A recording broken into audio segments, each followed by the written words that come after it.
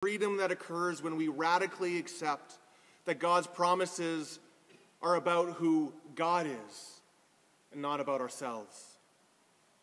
Do you see how we don't need to doubt them, how they are guaranteed? Paul says that against all hope, Abraham believed God, even though he was 75 and God told him to get up and move. He did it. Even though he was 100 and his wife was barren. I love how it says, even though his body was as good as dead, he believed God.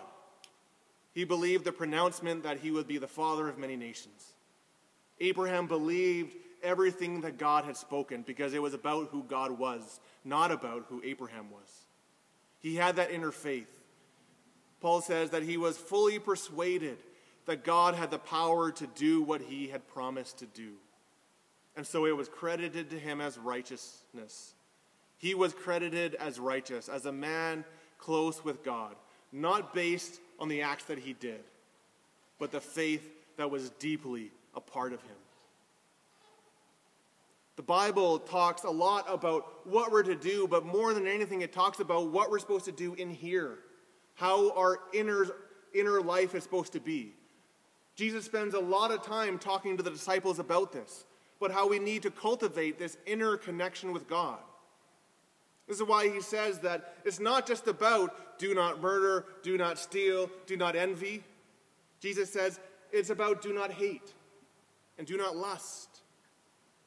Jesus says that it, a good tree cannot produce bad fruit because the fruit is about what's happening on the inside of the tree. Jesus talks about don't just wash the outside of the cup, make sure the inside is clean as well. Over and over and over again, what Jesus highlights in his ministry is the need to have this inner place, this inner deep recess of ourselves right with God in faith. Of course, doesn't mean that we're never going to mess up. We will. Paul describes Abraham in verse 19 as not weakening in his faith.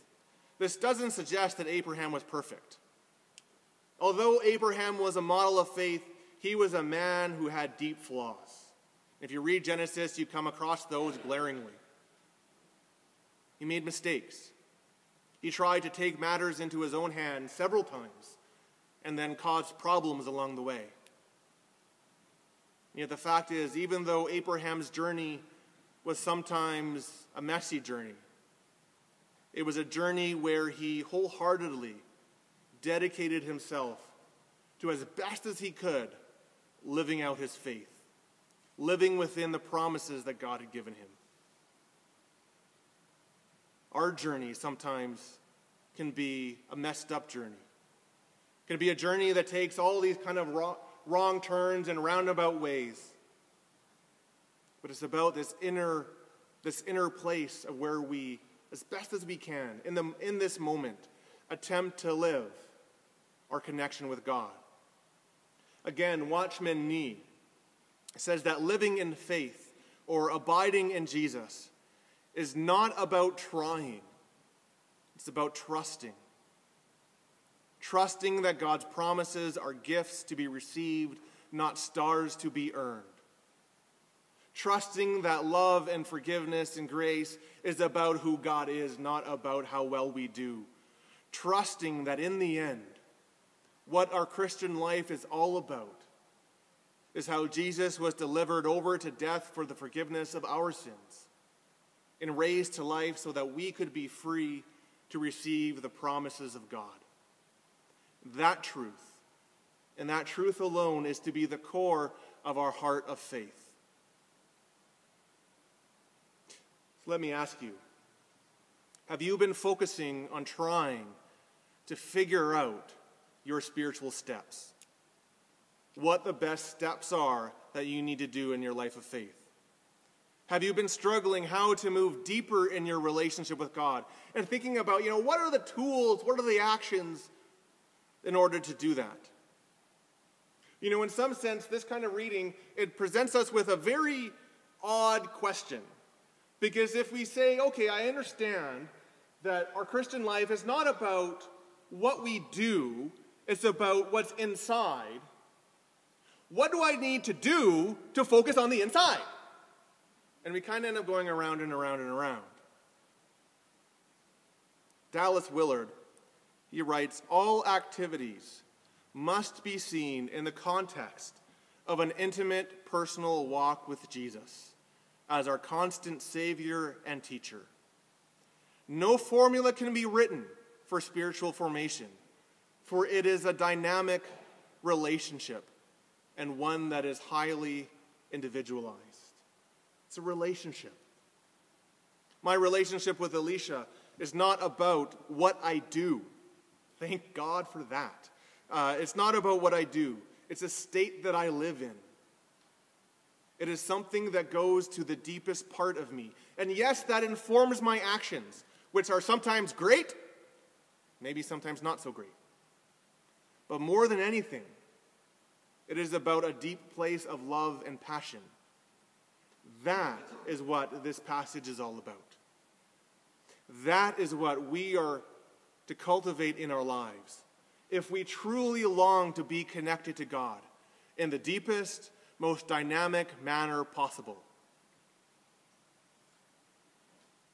So, for you, for me, for us, we are to focus on living your faith from the inside out. And if for you that means that you need to take up the Bible and read more and sit with it and, and dive in, then go for it.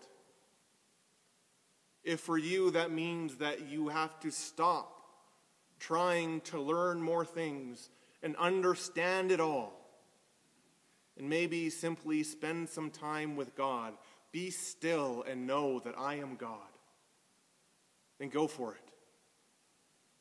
If for you it means that you need to look at the motivation behind all of your spiritual actions, then do it.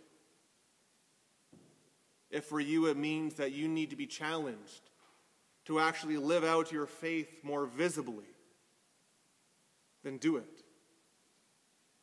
This will mean something different for every single person.